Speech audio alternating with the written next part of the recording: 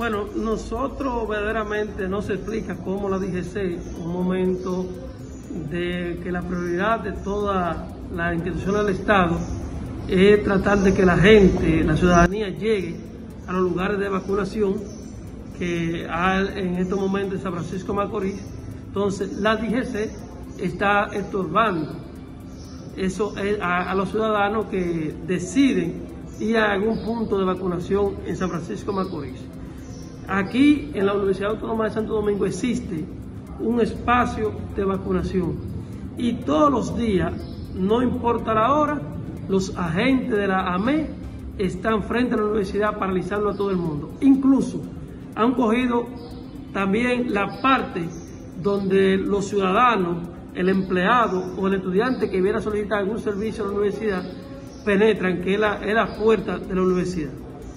Por esa parte entran los vehículos, entra cualquier ciudadano a pie también, pero todos los vehículos y los motores que pasan por esa entrada, no importa si viene a vacunarse, si es un empleado, si es un estudiante, son parados por ellos,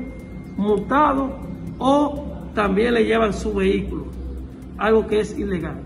Y nosotros hemos dicho que ya está bueno de ese maltrato que está haciendo la DGC en San Francisco Macorís y nuestra organización continuará en su proceso de lucha, incluso una de las demandas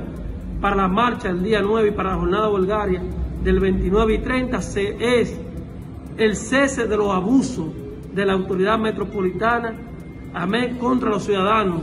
de San Francisco de Macorís, porque de lo contrario nosotros vamos a continuar con manifestaciones en distintos puntos de la, de la localidad de San Francisco de Macorís, exigiendo el cese, que las autoridades del gobierno se comuniquen con el director de la DGC en San Francisco para que baje un poco la guardia y que deje que la gente, el ciudadano, pueda ir a su centro de vacunación o hacer la diligencia que entienda del lugar en el día a día.